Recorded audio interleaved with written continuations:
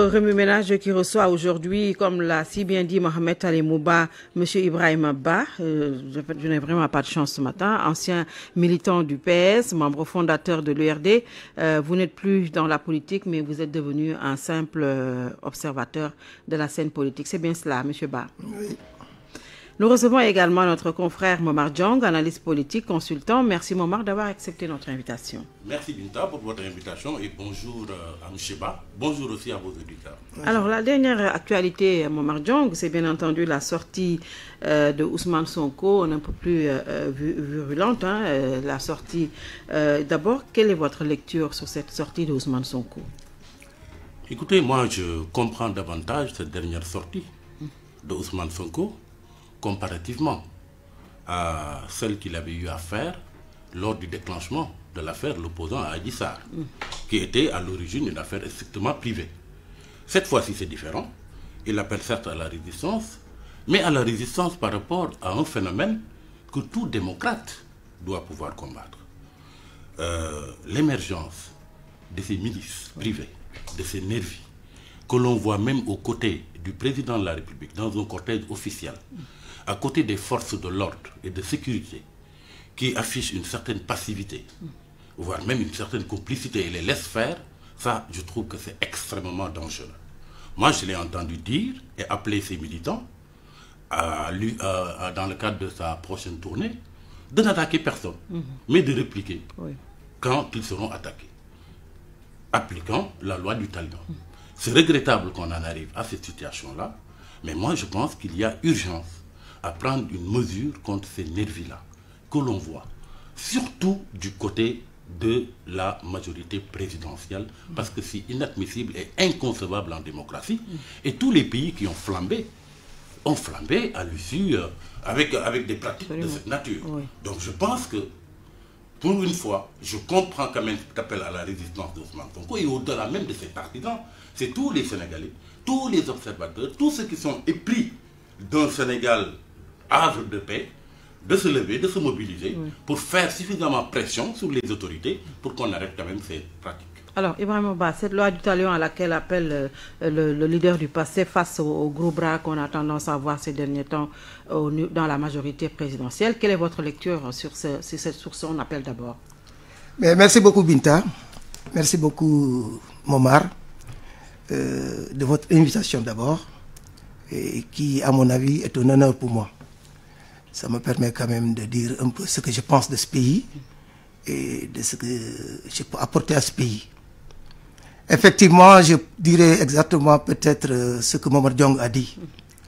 Quand on parle de résistance dans ce pays, moi je voudrais savoir clairement quel genre de résistance. Parce que quand il s'agit, par exemple, de résister contre, pour une démocratie, de résister pour défendre l'économie d'un pays, pour résister, euh, comment dirais-je, pour des élections transparentes, démocratiques, je suis parfaitement d'accord. Mais quand il s'agit maintenant de faire une résistance dans un autre sens, prendre des armes, aller vers euh, des adversaires, aller vers une population, s'entretuer, se blesser, ça je ne suis pas d'accord. Nous sommes un pays de paix, un pays qui est construit sur, euh, sur, euh, sur des valeurs. Les gens n'ont pas le droit aujourd'hui de s'aborder son fondement. On n'en donne pas droit à qui que ce soit. Donc aujourd'hui, il est temps que les gens s'assoient autour d'une table pour régler ce problème. Parce que sinon, on va vers des situations très graves. Et pour cela, que ce soit le pouvoir, l'opposition, les chefs religieux, la société civile, toutes les couches de ce pays doivent réfléchir là-dessus. Ces milices, ces nervis, tout cela, c'est des choses qu'il faut mettre de côté. Parce que ce n'est pas de l'intérêt de notre pays.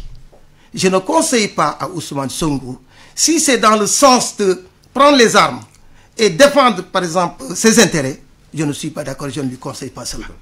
Parce qu'Abdoulaye Wade, il avait dit en son temps que je ne vais pas marcher sur des cadavres pour aller à la présidence. Je crois que c'est sur cela que Ousmane Sonko doit s'inspirer. Et pourtant, Abdoulaye Wade est arrivé à la présidence sans marcher sur des cadavres. Et lui aussi, c'est ce qu'il doit faire. Donc vraiment, ce pays, c'est notre pays à nous. On n'a pas le droit quand même d'assister à ce que ça se passe de cette manière. Oui, mais on, on a toujours quand même eu à, à, à dire à Ousmane Sonko qu'il avait un verbe trop violent, Momar Djong. Est-ce que avec avec avec l'affaire Adissar, on avait constaté qu'il avait quand même un peu dilué ses propos. Maintenant, s'il se remet dans la violence, est-ce que c'est pas pour rebondir politiquement?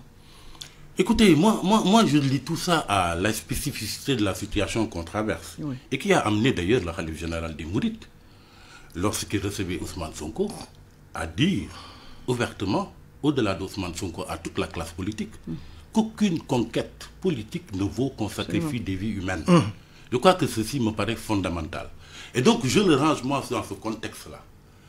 Encore une fois, je ne comprenais pas l'appel à, à, la résistance lors de l'affaire Adissar, qui était une affaire strictement privée. En revanche, cette affaire-là est liée à une démocratie qu'il va falloir sauvegarder, et je crois qu'au-delà de lui, c'est tous les citoyens qui doivent se mobiliser.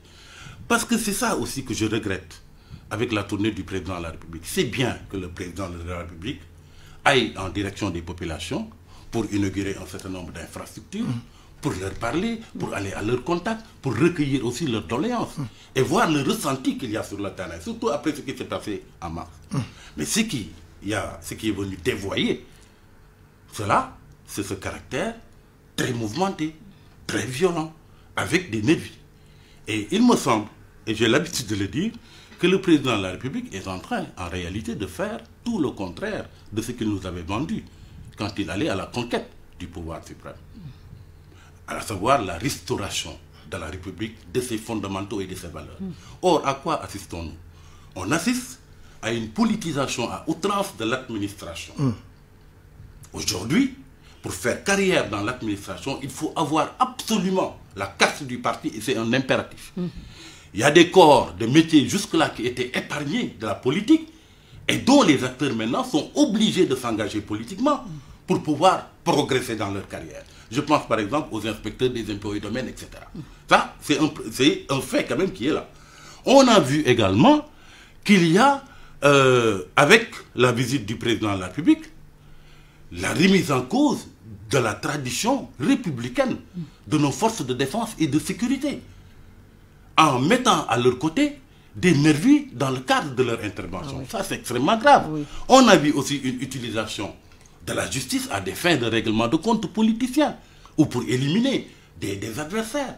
Tout ça, on l'a vu sous le président Macky Sall. On a surtout vu que le débat aujourd'hui national est traversé par des considérations ethnicistes et communautaristes. Donc les fondamentaux de la République sont en train de partir à lambeaux. Or, c'est ce que voulait éviter le président de la République quand il nous avait invités dans le cadre de l'Alliance pour la République. Mmh. La dénomination a son importance. Oui. À sauvegarder la République, à sauvegarder ses fondamentaux. Mmh. Il est vrai que ces partisans ne veulent pas qu'on évoque ce volet immatériel de son bilan, mais il me paraît fondamental. Je pense que c'est plus important même que toutes ces infrastructures que l'on inaugure. Parce que pour pouvoir utiliser ces infrastructures, pour pouvoir se développer économiquement, il faut avoir auparavant un pays stable, un pays où la cohésion nationale est sauvegardée. Oui. Je crois qu'il est temps que tout le monde revienne à la raison. En premier, le président de la République, qui doit être le premier à être sur le front de la croisade pour une stabilisation du pays et la sauvegarde de la cohésion nationale. Absolument, pour cette cohésion nationale, nous, avons, nous en avons besoin, M. Ba, dans la mesure où nous nous acheminons vers des élections locales. Qu'est-ce qu'il faut faire pour mettre fin à cette escalade de violence verbale et, et même physique? Oui, euh, permettez-moi de vous dire que je suis très en phase avec Momar John oui. sur cette analyse qu'il vient de faire. C'est important, il n'y a rien à dire. Mm. Et pour en ce qui concerne vraiment cette cohésion, je crois que même les élections en vue, nous y allons avec précipitation. On n'a pas tout réglé pour aller aux élections. C'est pour cela qu'il y a tous ces problèmes que vous voyez. Parce qu'il y a beaucoup de choses qu'il faut mettre au point avant d'aller aux élections, que ce soit les élections locales, législatives ou la présidentielle. Il y a beaucoup de choses qu'il faut régler avant d'aller aux élections. Nous y allons avec précipitation et on aura des problèmes après. Parce que les ambitions des uns et des autres, surtout pour les élections locales, mmh. les ambitions sont grandes. Parce que c'est des élections qui, je peux les appeler des élections administratives. Mmh. De telle sorte que chaque, chacun peut être candidat, chacun veut être candidat, chacun peut être candidat. Alors tu vois ce que ça fait? Déjà, au niveau de la base, tous ces problèmes que vous voyez, c'est parce que c'est des ambitions personnelles. Les, les mouvements que vous voyez dans, avec la tournée du président, ce n'est rien d'autre que des ambitions, euh, comment dirais-je, pour les élections. Parce que tout le monde veut être candidat. Au moment où tout le monde ne peut pas être candidat. Et tout le monde peut être candidat. Tu vois ce que ça fait Donc, pour cela, moi j'ai toujours dit que comme nous sommes un pays de dialogue, un pays de paix, un pays de terrain, il est important que les gens se retrouvent Oui. pour discuter clairement, sans, sans, sans équivoque, et sans tricherie aussi, excusez-moi du terme, et mettre le calendrier républicain sur la table, le code électoral et le mode électoral. En discuter à fond, verrouiller ça complètement et définitivement. C'est la meilleure solution. Il y avait quand même le dialogue national. Mais le dialogue national, comment il a été organisé, Oui, Binta? oui. Et le dialogue politique aussi. Mais il faut que ça soit organisé sérieusement. Oui. Sérieusement. Même le président de la République doit participer à ce dialogue pour donner de l'impact, au- comment dirais-je, au, résultat. Mais quand il envoie des émissaires, chacun envoie des émissaires, mais on n'aura jamais de solution. Donc il faut que tout le monde se retrouve. Et on prend les chefs religieux comme témoins pendant au moins un mois, comme Louvre l'avait fait en 91-92, je ne sais pas, sur euh, euh, le code électoral, qui était dirigé par le juge euh, Kebambay. Mais c'est comme ça qu'il faut procéder. Parce que le pays là, il nous appartient à nous tous. À nous tous, il n'appartient pas seulement au président de la République, ou bien au parti au pouvoir, ou bien euh, l'opposition, ou les chefs religieux, etc. Il faut qu'on en discute. C'est un pays de dialogue, donc il faut dialoguer. Maintenant, on ne peut plus forcer la barrière. C'est pas possible. Absolument. Donc moi, c'est comme ça Il est que je vois les impératif donc de euh, tendre vers un dialogue inclusif et, et sincère, c'est ce que vous avez dit. Mais justement. Le pays en a besoin. En, en tout cas, euh, le, le président vient d'achever euh, une visite euh, éco- économico-politique Hum. de, de 10 jours dans le, dans le Nord. D'abord, euh, sur la forme, euh, quelle est votre lecture? Écoutez, moi je pense que la dimension politique a été très prégnante dans cette tournée et c'est de bonne guerre. On venait de sortir des incidents quand même de mars et le président avait besoin de reprendre la main. Il avait donc trois objectifs en entamant cette tournée qui sont politiques. Le premier objectif, c'était d'impressionner ses adversaires et leur montrer que son pouvoir avait certes vacillé en mars, mais qu'il est encore suffisamment fort pour pouvoir résister à tous leurs assauts. Ça, c'était le premier objectif. Le deuxième objectif, c'est qu'il a voulu aussi euh, redonner le moral à ses partisans. Parce que vous n'êtes pas sans savoir qu'il y en a beaucoup qui ont pu être gagnés par le doute avec ce qui s'est passé en mars. Et troisième objectif, enfin, le président a voulu rassurer les partenaires financiers du Sénégal et la communauté internationale pour leur montrer que malgré ce qui s'est passé en mars, qu'ils gardent encore le contrôle de la situation. Voilà les objectifs. À part de ce moment-là, la dimension politique a été fondamentale et très prégnante dans cette visite, et ça se comprend. Mais ce que je regrette tout simplement, c'est que ça nous détourne de l'essentiel. Oui. Parce que le président a eu à dire aux Sénégalais, à l'issue de ces événements de mars, qu'il avait compris leur message. Mais il me semble qu'il ne l'a pas compris. Pourquoi? Euh, Il n'y a qu'au Sénégal qu'il peut se passer ce qui s'est passé en mars, une semaine de manifestation sur toute l'étendue du territoire, Près de 15 morts. et à l'issue de ça, que le président n'ait plus le moindre changement dans son attelage gouvernemental.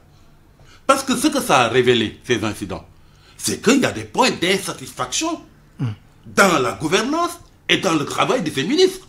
La moindre des choses, c'était quand même de renvoyer ce signal-là, montrer aux Sénégalais que je vous ai compris, vous avez exprimé votre satisfaction par rapport à un certain nombre de secteurs. Voilà les changements que j'ai impulsés dans mon attelage gouvernemental pour qu'on prenne un nouveau cap. Il ne l'a pas fait. Et puis ensuite, ça aurait rassuré les Sénégalais quant à la volonté du président de la République de changer les choses, de créer une nouvelle dynamique, de créer un nouveau déclic et d'aller vers les vrais problèmes. Et pas plus tard que le 17 juin, je me suis aperçu à quel point nos pouvoirs publics passent à côté des gros enjeux. Le 17 juin, c'était la célébration à travers le monde de la journée internationale contre la déforestation. Et cet événement est passé quasiment inaperçu au Sénégal. Au moment où la forêt casamançaise fait l'objet d'un pillage systématique.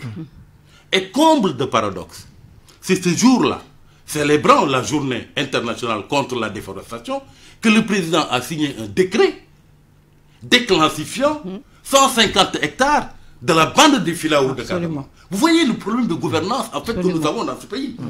On passe à côté de l'essentiel. Et c'est à partir de ce moment-là, moi je pense que nos pouvoirs publics, le président de la République en premier, doivent quand même revenir à la raison. Savoir que le Sénégal n'est pas un pays trop difficile à gouverner.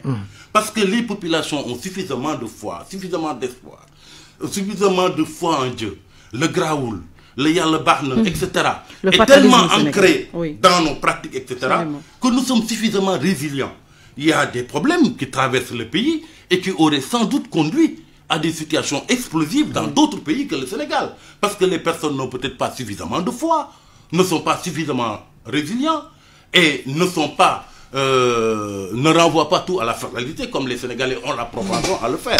Je crois que c'est les pouvoirs publics qui doivent tout simplement revenir à la raison pour que vraiment ce pays puisse euh, vraiment aller de l'avant. Vraiment, bah, votre point de vue sur euh, la tournée économique politique du, président? Oui, oui, c'est une. Vous savez, tous les déplacements. Il y a eu quand même des inaugurations, il y a eu des investissements. Je suis parfaitement d'accord avec vous. C'est ce que j'ai dit. Il faut saluer aussi. Oui. le président de la République, quand il se déplace, dis-toi que c'est toujours il y a toujours une connotation, une coloration politique. C'est normal. Comme vient de le dire tout à l'heure mon, ami Momar. Mais quelqu'un qui a gouverné pendant des années, il a donné des instructions, il avait des projets. Et c'est normal, quel que soit Alpha, des fois qu'il fasse le tour du territoire pour voir est-ce que les projets ont été bien réalisés. Et en faisant tout cela, c'est normal. Donc il faut qu'il ressemble les troupes.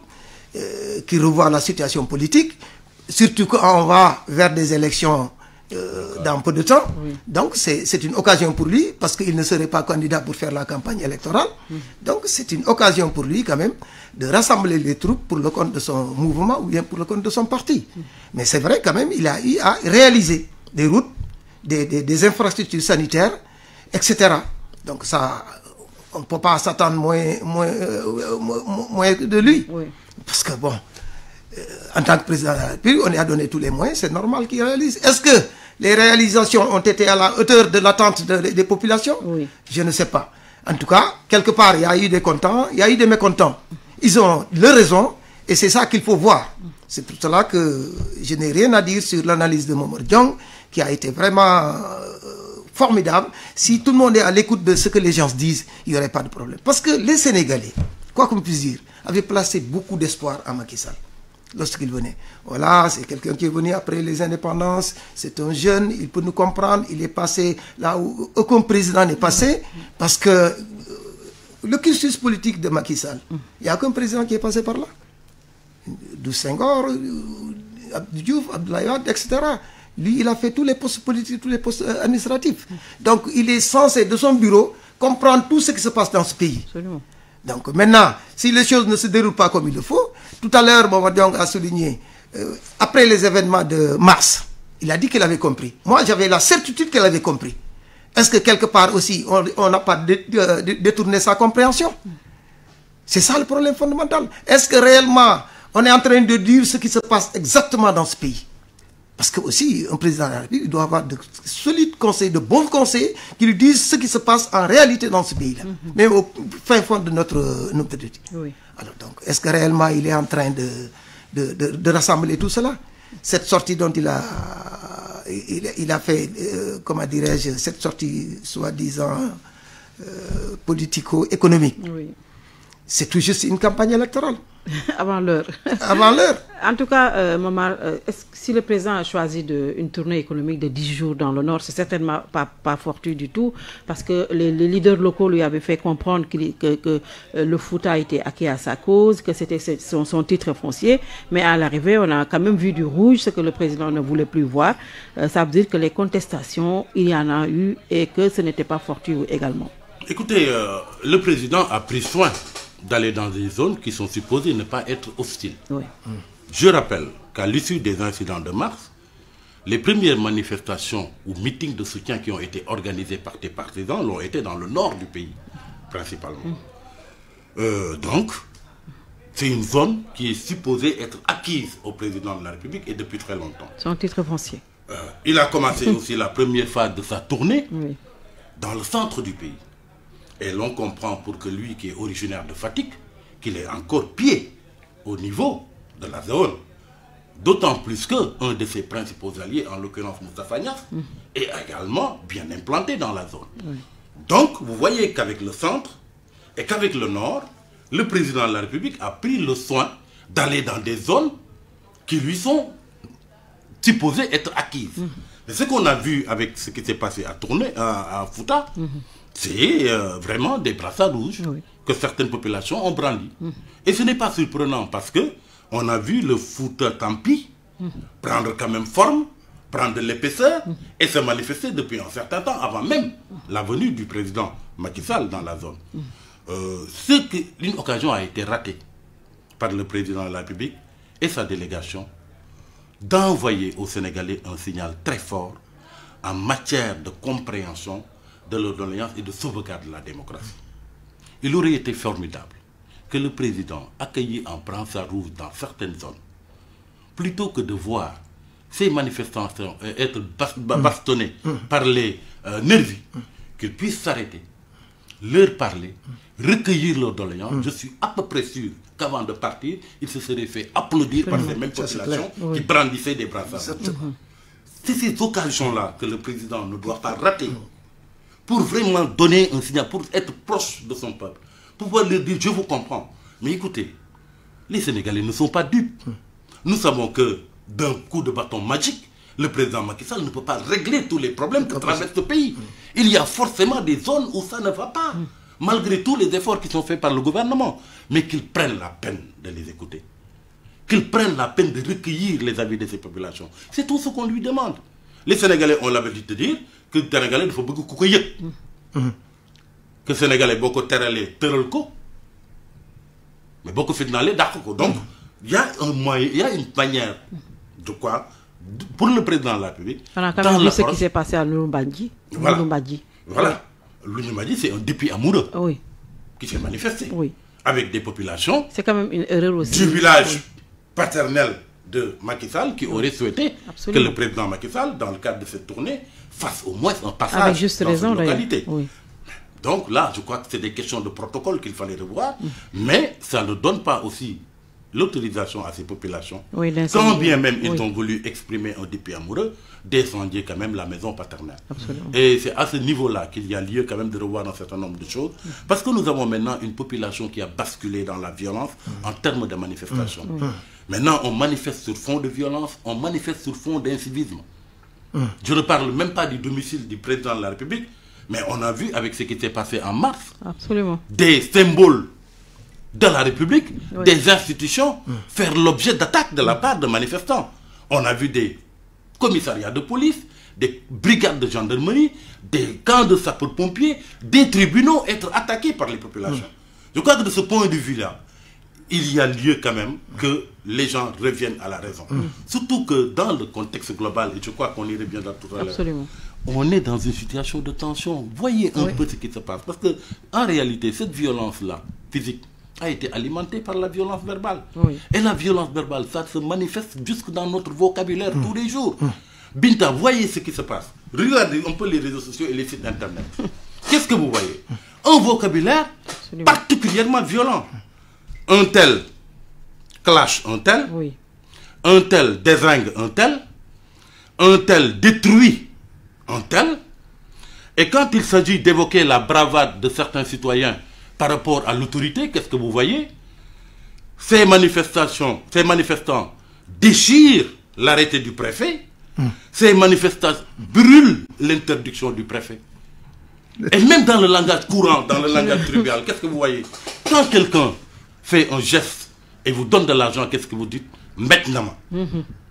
Et quand vous, à votre tour, vous usez de subterfuge pour lui suturer quelque chose, vous dites Dornako. Et c'est aller jusque même dans le langage électoral, avec le fameux coup KO, qui traduirait une victoire d'élection au premier tour. qu'on a hérité de la, de la Côte d'Ivoire et qu'on a gardé. Vous voyez que le langage de tous les jours est devenu extrêmement violent. On a une violence ambiante. Et il ne faudrait pas que les pouvoirs publics en rajoutent en attisant le feu par un certain nombre de comportements qui seraient proprement irresponsables. Oui. Alors, est-ce qu'on a comme l'impression que le président, euh, euh, c'est un président qui, qui, écoute son peuple, qui sait que le mal est trop prof profond? Mais compte tenu de la situation, on peut dire que peut-être euh, il a écouté, mais il ne veut pas comprendre. Mm. C'est possible. Mais ce que Momor vient de dire tout à l'heure sur la violence verbale, jusqu'à la violence physique, elle est arrivée à son paroxysme. Tout à fait. Et si on y prend garde, ça risque de créer une autre situation dans le futur. Et ça, c'est... Tout le monde est responsable. Ce n'est pas seulement l'État, le président de la République, le gouvernement, etc. Il y a les parents. Parce que cette violence, cette violence à l'université, les parents ont une part de responsabilité là-dessus. Mm -hmm. Cette violence, par exemple, dont tu viens de citer tout à l'heure, le langage écrit, là, mais les responsables de la presse ont une part de responsabilité. Parce que quand ils disent brûle, euh, crash, etc., tout cela, mais c'est des choses qu'on doit vérifier et interdire cela. Parce que c'est dans le cadre de l'éducation des enfants. Les étudiants qui sont à l'université, euh, dans, un endroit de savoir, si on y trouve des machettes, des coupes-coupes, des couteaux, etc., ils s'entretuent. Mais on peut comprendre, on peut plus comprendre. Donc, il faut que les gens discutent sérieusement de ça. Parce que sinon, ils vont partir et ils vont un nous laisser national, comme disait le sociologue. Le sociologue. Un national, comme disait. Mais il, il, il a raison. Il a raison, Binta. Oui. Le pays en a besoin. Parce qu'il y a beaucoup de mots qu'ils comprennent, eux, les dirigeants. Ils comprennent les problèmes, vrais problèmes de ce pays. Mais est-ce que réellement, ils sont. Ils, ils veulent régler ça?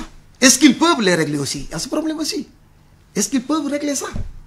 Parce que déjà, euh, ce qu'on voit, ce qu'ils font exactement, jusqu'à ce que les jeunes copient sur eux, c'est ça le problème fondamental. Tu peux interdire quelque chose ici et tu l'acceptes de l'autre côté. Ça aussi, c'est révoltant. Ces frustrations que vous voyez là. Maman a dit quelque chose de, de très important tout à l'heure. Ces brassards rouges, ces gens qui s'organisent, qui sont, qui sont mécontents, oui. et qui crient. Mais vraiment, quoi qu'on puisse dire, en tant que responsable, tu devrais prendre le temps de les écouter, au lieu de les bastonner, au lieu de les, comment dire, violenter, mm. mais le temps de les écouter pour comprendre pourquoi ils sont mécontents. Parce que ça fait, ils font partie du, du, du peuple, ils font partie de la population. Ils doivent être satisfaits. Pourquoi ils ne sont pas satisfaits? Mais il faut leur demander. Oui. Ils te diront. En tout cas, vous avez dit tantôt que, que la presse a un rôle à jouer dans l'accentuation de la violence verbale et, et, même physique qui conduit à des violences physiques. Momar, le président peut-être l'a compris, il a annoncé une régulation prochaine euh, des, des, réseaux sociaux. Est-ce que ça peut se faire et est-ce que ça peut faire l'affaire? D'autant plus que nous, également, de la presse, nous attendons notre code de la presse pour assainir le milieu. Mais ça Parce que nous avons un rôle fondamental à jouer. Oui, oui, ça m'a pas des fondamental. Oui. Je crois qu'il y a lieu quand même de réguler un peu dans ce secteur. Oui. Parce qu'on voit du tout.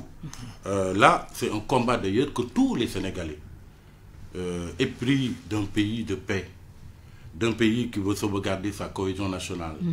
doivent accompagner le président dans ce combat-là. Mm. Euh, J'ai interpellé, moi, un certain nombre d'acteurs qui ne sont pas toujours d'accord avec le président de la République, en leur disant que pour une fois, je crois qu'il y a lieu d'accompagner le président de la République dans cette direction, tout en veillant quand même à préserver la liberté quand même d'expression. Il ne faudrait pas que l'impératif de régulation du secteur mmh. des réseaux sociaux soit un prétexte commode pour brimer davantage aussi la liberté mmh. d'expression des gens. Je crois qu'il y a un juste équilibre à trouver et c'est pour cette raison d'ailleurs qu'il ne faudrait pas que ça soit uniquement l'affaire du gouvernement. Il faudrait que les acteurs du secteur puissent accompagner le président de la République dans cette direction. Pourquoi pas inviter une association très dynamique et très responsable comme l'appel, mmh. l'association de la presse en ligne, oui. dirigée d'ailleurs par Ibrahim Ali Safai Oui. euh, le, le brillant Ibrahim Ali Safai. Euh, pourquoi pas associer ces acteurs-là qui vivent ça au quotidien et qui font d'ailleurs l'objet de menaces Absolument. dans leur métier Oui. par ces gens-là qui, ont- qui sont entrés par intrusion dans le secteur. Absolument. Pourquoi ne pas le faire de concert avec eux? Je crois que c'est un combat qu'on ne doit pas laisser uniquement au président de la République ni au gouvernement, parce que la tension sur les fortes de brimer les libertés publiques. Associons tous les acteurs qui doivent intervenir, réfléchissons ensemble et voyons comment réguler ces réseaux sociaux mais qui sont en train mais, quand même mais de comment est-ce que, cette régulation sera, sera, sera parfaite, euh, Diong, dans la mesure où, quand vous regardez quelques, les vidéos qui sont euh, dans les réseaux sociaux, ce sont les vidéos des insulteurs publics qui sont les plus visionnées, ce sont euh, ceux qui s'attaquent violemment à des, euh, à des tierces personnes qui sont le plus écoutées. Euh, Est-ce que c'est le Sénégalais même qui qui, qui, demande pas ces, ces, genres de... Non, c'est vrai. C'est vrai que là, vous touchez du doigt quand même là un problème. Oui. C'est un problème Nous avons. Les Sénégalais également, également, une société ils ont de ce part- point de vue oui. qui ont un problème. Oui. D'ailleurs, ici, À la télé, quand ce sont les bouffons qui passent, ce sont eux qui sont le c'est plus eux qui sont les plus suivis, c'est eux qui sont les plus regardés. Oui, quand même. vous êtes sérieux, Oui, oui. euh, dans le regarde pas. discours, dans le propos, etc., Oui. on a l'impression Oui. que vous ne faites pas le buzz. Ah, c'est ça. Cette recherche effrénée du Oui, buzz peut poser un problème, c'est vrai, dans le pays. Il va falloir qu'on en appelle aussi à la raison de tout le monde. Mais Oui. une population, on l'éduque. Si l'environnement est assaini, Oui. ces habitudes-là, ils auront tendance Absolument. à les perdre. Mais c'est parce qu'on a laissé tout faire, c'est le laisser passer, laisser faire, que finalement, ces populations qui voient ces effluves d'images, d'audio, etc., sont tentées à les avoir. Oui. Et ils s'accoutument, ça crée une, euh, ça- une, une habi- une habitude, et à partir de ce moment-là, on a l'impression que c'est fondamentalement ancré. Mais si on régule, je crois qu'on peut arriver à inverser quand même la tendance. Oui, monsieur Ba, c'est- il faut tout revoir de fond en comble. En tout cas, c'est très difficile à régler. Il faut revoir l'éducation de base. Absolument, Donc, tout ça. le problème fondamental, c'est l'éducation de base. C'est à la maison. Alors, il faut revoir tout ce système. Parce que aussi, quoi qu'on puisse dire, les parents aussi, euh, ils se sont désengagés. hein. Pratiquement. Je ne sais pas si c'est la crise économique ou pas, mais en tout cas, il n'y a, pas- y a pas plus, prétexte, en tout cas. il y a plus de sacrifice pour la progéniture. Oui, oui. Les parents, ils laissent les- la progéniture euh, comme ça, euh, dans la nature, sans rien regarder, sans rien voir, etc. Donc, euh, ça profite à, la, à, à cette débauche. Donc, euh, je crois qu'il faut revoir tout le système éducatif de notre pays. Alors, donc, euh, Oui. ça, c'est un problème fondamental ici au Sénégal. Et pourtant, ce n'est pas à négliger. Absolument. Parce que ça fait partie des fondements de notre, de- de notre pays. Oui. Mais maintenant, tout a été bafouillé. Tout a été bafouillé, quoi qu'on puisse dire. Nag, peut-être, je, dis, je peux dire quelque part qu'il y a un- une crise économique qui est passée par là. Mm. Parce que aussi, quand on n'a pas un, un revenu assez, assez, assez, assez... On n'a pas le temps d'éduquer, c'est pas un prétexte Justement. quand même, Ibrahim. On n'a pas des fois aussi le temps d'éduquer. Oui. On a des fois aussi le moyen, les moyens d'éduquer. oui. On n'a pas aussi euh, des fois l'expérience. Parce que je dis, On n'est pas obligé de faire des enfants si on ne peut pas éduquer aussi. mais les enfants, tu ne peux pas ne pas les faire parce que ça, ça vient comme ça. Ça c'est naturel. Oui. Ça c'est naturel. Merci. Mais en tout cas, il faut revoir l'éducation. Ibrahim Abba, ancien militant du PS, membre fondateur de l'URD que nous recevons dans Remue Ménage, également euh, Momar Diong, analyste politique et, et consultant. L'autre actualité a trait à, à l'AFP et Momar Diong, euh, qui va connaître prochainement en 2022 une cure de, de, de jouvence. Moussa Fagnas a décidé de se, de, de se retirer en 2022 pour laisser la place aux, plus jeunes. Et votre euh, lecture sur, sur cette décision de Moussa Fagnas C'est bien qu'il décide de se retirer. en Mais je- 2022 mais je crois que c'est un retrait quand même qui est très tardif. Moi, j'ai l'habitude de dire que l'AFP et Moustapha Nias ont un destin de ballon de basket. C'est-à-dire? Si vous prenez un ballon de basket, vous le tapez contre le sol, il monte haut, il revient, tape le sol, monte moins haut que le premier jet. Il revient une troisième fois, tombe, tape le sol, et vous avez un bond qui est moins haut que le premier et le second. Bon. C'est exactement cette métaphore qui renvoie à la trajectoire de l'AFP et de Moustapha Niasse. Pour dire quoi? Moustapha Niasse, à sa sortie du Parti Socialiste, a été à une première élection présidentielle en 2000. Il avait réalisé un excellent score avec 17,4% des suffrages. À l'élection suivante, en 2007, il oscillait à peine à 5%. Je crois que c'était le moment de passer la main s'il voulait redonner un second souffle à l'AFP. Mais il ne l'a pas fait. Et entre-temps, il a perdu beaucoup de compagnons de route. Binta, souvenez-vous des débuts de l'AFP. avec ses quatre présidents de groupe de contact, qui étaient en quelque sorte les piliers de la maison AFP. Avec feu docteur Pape Kamara à Dakar, feu Mamoun Nias dans le centre, Omar Khassimoudia dans le Fouta, dans le nord, et Cheikh Ngom, architecte dans le sud. Il tenait à bout de bois l'AFP et l'AFP avait une certaine consistance. Les trois premiers, c'est-à-dire Dr Pape Kamara, Mamoun Nias et Omar Khassimoudia, sont entrés en dissidence et se sont retrouvés au moment au sein du Rassemblement du peuple RP. Cheikh Ngom, entre-temps, a laissé la politique. Il y a eu une cascade de départ par la suite. Maître Abdoulaye Babou, Hélène Tine, Morgan, ex-patron des cadres, Bassirou Dian, qui était le président du réseau des universitaires. Mais le départ, justement, le départ le plus marquant, c'est le départ de Malik Gakou, ex numéro 2. Et ce départ était d'autant plus marquant que lui, il était parti en compagnie de Matassi Diallo, responsable national des femmes, et Malik Gay, responsable national des jeunes. À partir de ce moment, l'AFP n'était plus que l'ombre d'elle-même. Et je crois qu'elle le sera davantage avec le retrait de Moustapha Nias.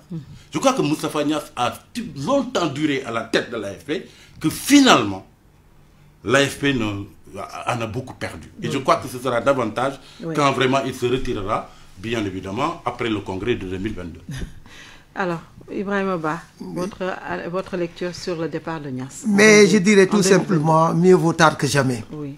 Je ne vais pas revenir sur l'historique de l'AFP comme l'a fait Momar Diong. Je voudrais tout simplement dire que c'est un geste euh, très sage et très politique aussi. Euh, je suis parfaitement d'accord avec lui. Alors, euh, je dirais tout simplement que c'est un lifting. C'est un mouvement de fauteuil. Et quant à cure de juvence, euh, ces jeunes qui sont là-bas, c'est soi-disant jeunes, ils ne sont pas jeunes, parce qu'ils étaient là au moment, où on fondait le parti. Ils sont plus jeunes que Nias en tout cas. Ça, je suis d'accord. Mais ils sont suffisamment responsables. Oui. Ils ont assisté à la, à la formation de ce parti. Ils ont participé euh, aux actions de ce parti. Donc, euh, ils sont responsables, ils ont un background qui leur permet, par exemple, de diriger ce parti. Maintenant, tout le monde sait qu'un parti politique, c'est du lourd. C'est du lourd. Il, il nécessite beaucoup de choses. Absolument. Beaucoup d'argent. Beaucoup de, matériel. guerre, oui. Et, et des partenaires aussi, nationaux comme internationaux. C'est pour cela que quand Moustapha dit qu'il va céder, qu'il va entériner la décision en 2022, j'ai dit non, je préfère qu'il le fasse tout de suite et maintenant. Pour leur permettre quand même de s'asseoir. Parce que lui, il ne doit pas les abandonner complètement. Il doit les encadrer. Il doit les soutenir. Il doit les aider. Sur le plan financier, sur le plan matériel et sur le plan de relations relationnelles. C'est ça qui leur permettrait de s'installer politiquement pour pouvoir quand même briguer les élections à venir. Parce que s'il le fait aujourd'hui, en six mois, sept mois, avec les élections locales, ce serait quand même un baptême de feu. Et après les élections législatives et présidentielles, il se retirera complètement de la politique et de tout. Parce que si j'ai une bonne mémoire, parmi tous les proches collaborateurs de Senghor, je crois qu'il n'y a que Moustapha qui est en activité aujourd'hui en politique. Mais Machallah, le santé Allah. Donc aujourd'hui, s'il prend la décision de céder son parti aux plus jeunes, ça c'est une, c'est une décision à saluer. Parce que même quoi qu'on puisse dire, il y a des gens capables de diriger ce parti après lui. Oui. Je pense à mon On va, fils Za- on- on va- on va revenir sur, euh, sur, sur les profils, mais 2022 quand même, après les élections locales, Momar. Et également, euh, on, a- on attend en 2022 les élections législatives. Pourquoi choisir juillet 2022 pour se retirer? C'est quand même un peu intri- intriguant. Juillet 2022 après les législatives. Oui. Euh, je Et crois les que- locales également. Je crois qu'il a tellement longtemps tenu les manettes de l'AFP que, en fait, le passage de témoin doit être issu d'un processus quand même, qui soit conduit avec beaucoup de municiers, etc. Et je pense que ce deadline qu'il s'est fixé au prochain congrès pour pouvoir passer le témoin, je pense ça me paraît raisonnable. Euh, je crois qu'il ne servait à rien peut-être de te lancer dans la précipitation parce que, en fait, on va vers une succession qui ne sera pas de tout repos. Parce que Nias Parti restera le problème de la succession.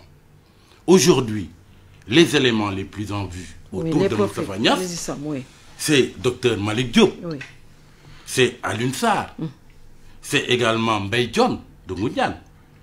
Mais il ne faut pas perdre de vue que celui qui fait quasiment figure de bras droit et de facto de numéro 2, Absolument. c'est Boun Mohamed Sek, Bouna Mohamed Sek, qui est de Saint-Louis, Qui est son et qui, contrairement aux autres, Oui. ne jouit pas d'une bonne assise politique et d'une base politique. Moustapha Niasse a dit et a Vous rassuré tout le monde. Quand même. Le Oui, oui. Aussi. Oui. Moustapha Niasse a dit qu'il va laisser le jeu démocratique se faire et que c'est le Congrès qui va décider de celui qui prendra les manettes après lui. Mais je crois qu'il n'est pas exclu qu'il puisse donner un coup de main à quelqu'un comme Bouna Mohamed Sek, qui lui est très, très, très, très lié. Et malheureusement, c'est le lot des grands partis. Rendez-vous compte, Pape Diop, en tant que patron de Dakar, aurait pu être le successeur idéal de Abdoulaye Wade au niveau du PDS. Il ne l'a pas été. Khalifa Sall aurait pu être le successeur idéal de Ousmane Tanordien à la tête du Parti Socialiste. Il ne l'a pas été pour délit d'ambition.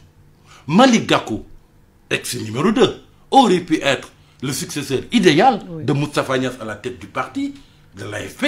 Il ne le sera pas, lui aussi pour délit d'ambition. C'est le lot de tous les grands partis, malheureusement.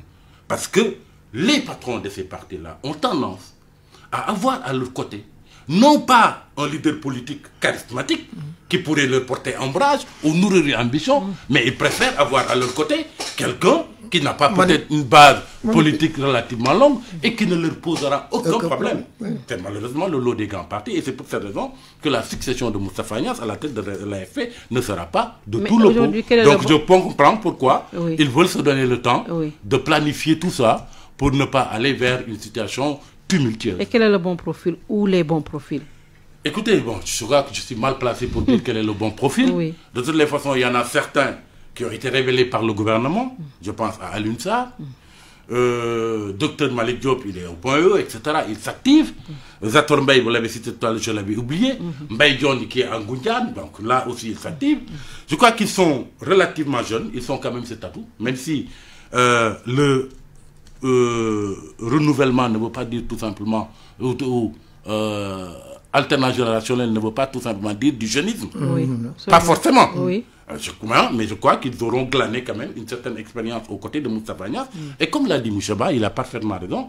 Moustapha Niasse, même s'il prend du retrait, il continuera peut-être de loin à accompagner Absolument. ces personnes-là qu'il a eu à pouponner et dont il a façonné la trajectoire politique.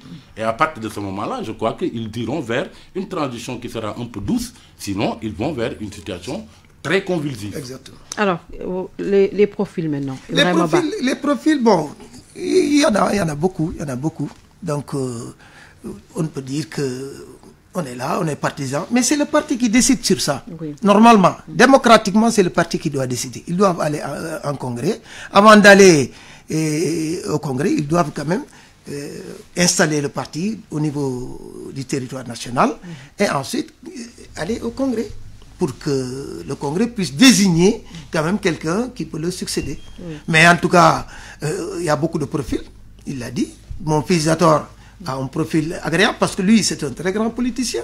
Bien sûr que, euh, comme vous le voyez, docteur Malik Diop que j'ai connu euh, à l'URD, lui aussi, il a un bon profil. Donc, euh, ils sont nombreux là-bas pour pouvoir diriger le parti et encadré par Moussa Vagnas lui-même. Mais maintenant, dans la logique, dans la démocratie, c'est le parti qui doit trancher. Comme Momar vient de le dire tout à l'heure, beaucoup de gens pouvaient remplacer le patron, le leader de parti. Mais malheureusement, comme il a dit, le plus souvent, il aime toujours avoir euh, un cousmagnap, ne, euh, Manipulable. euh, voilà, c'est ça. oui, il manipule comme, comme, comme, comme il veut. oui. Alors, donc, mais aujourd'hui, il a donné un bon exemple quand même au, au parti, au, au parti appelé parti euh, traditionnel. quoi. Oui. Il est temps maintenant que... euh, parce que maintenant, les partis n'ont plus de, n'ont plus de sens, quoi qu'on puisse dire. Parce qu'il n'y a que le chef de parti qui est visible dans les partis politiques.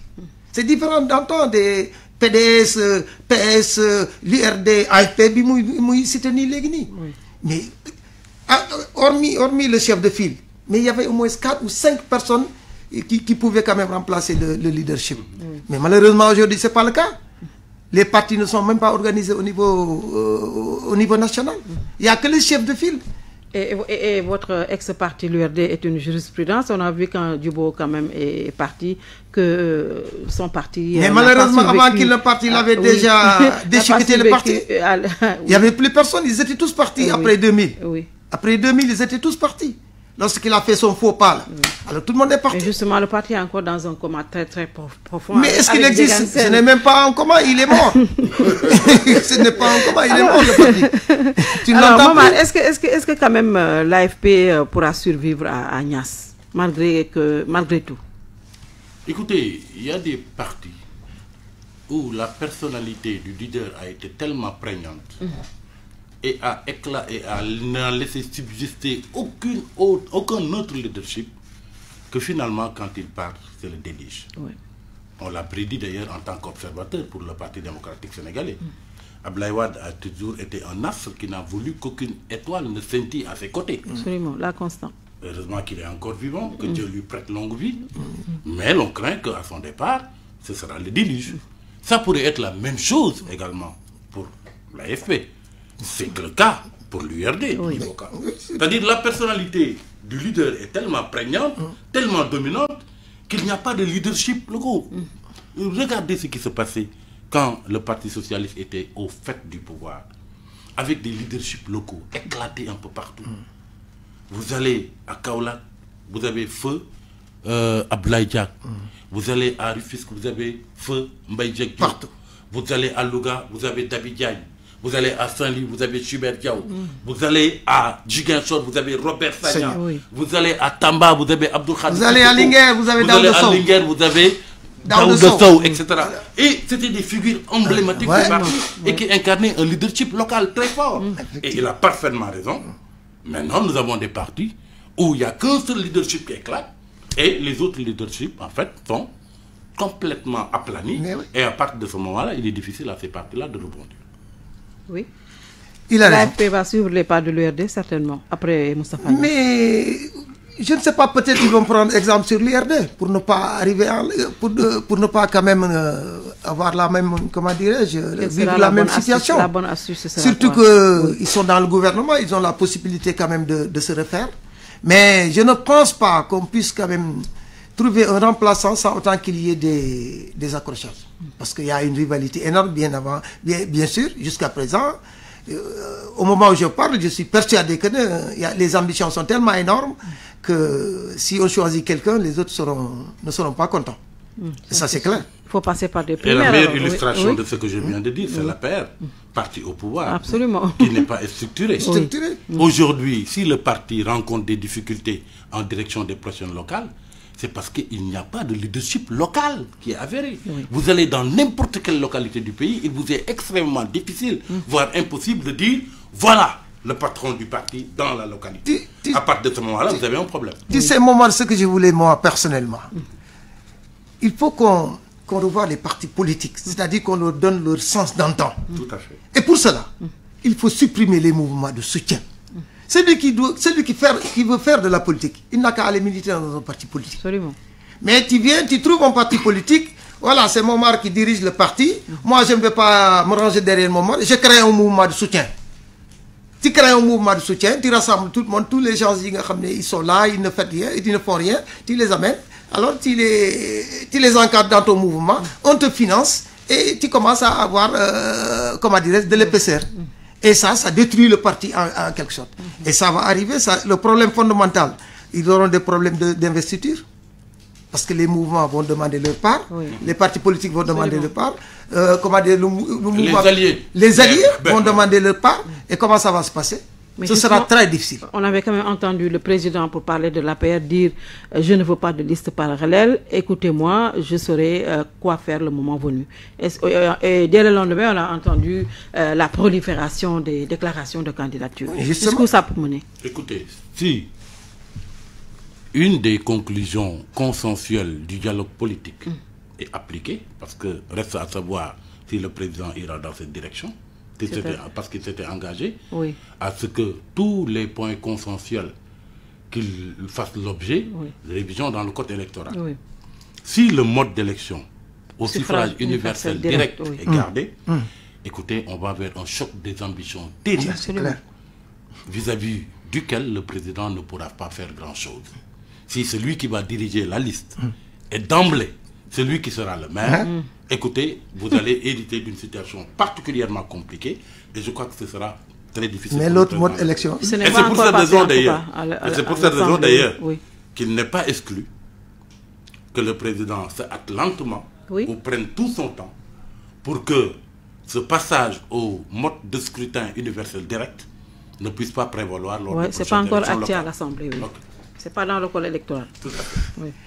Alors, là, là peut-être, euh, moi je préfère que le maire soit élu directement quand même. oui, tout le C'est monde souhaitable en démocratie. Oui. Ouais. Mais on peut pas. Le problème fondamental, c'est qu'il faut que les listes soient parrainées par des partis politiques. Les mouvements, les, les, les, les, les alliances, il faut les mettre de côté. Les listes non. Les listes, les listes doivent être parrainées par des partis politiques. C'est ça la logique politique. Maintenant, le maire, moi, à mon avis, il doit être élu au suffrage universel. Ouais. C'est ma conviction. C'est ma conviction. Maintenant, là, les, les, les conseils, on les élit sur une liste euh, euh, nationale, sur une liste, euh, comment dirais-je, locale. Là, de ce fait, au moins, les, les, les élus sentiront que ce sont les populations qui les, euh, qui les ont élus. Tout à fait. C'est comme par exemple les députés à l'Assemblée nationale. Moi, je voudrais qu'on supprime la liste nationale. La liste, la liste majoritaire. Non, majoritaire. Pourquoi C'est la li- Tu sais pourquoi? Oui. Binta, on va aux élections, tu es à ton parti, j'ai le mien. Tu as 1000 voix, moi j'ai 999 voix. Tu prends les 50 euh, membres, comment dirais-je, euh, sur la liste majoritaire. Or, que tu, or, tu n'as que une voix plus que moi. C'est pas démocratique. C'est pas démocratique. Donc, il faut que cette liste soit supprimée. Et la liste proportionnelle, Tout à fait. euh, quelques, quelques candidats, 30 personnes, tout le reste à la base. Ouais. Quand tu es élu à la base, au niveau, au niveau départemental, mais si tu viens à l'Assemblée nationale, Momar, tu ne vas pas dire que c'est c'est- c'est- c'est Macky Sall qui m'a envoyé ici, je vois tout ce que tout ce qu'il m'amène.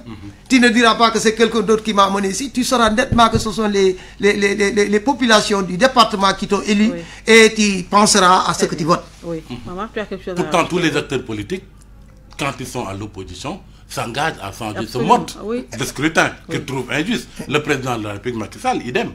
Il avait promis qu'une fois qu'il serait au pouvoir, que ce, mode de scrutin majoritaire C'est pour cela que j'ai dit. c'est Mais pour- malheureusement, c'est pour cela que j'ai dit. Bomar.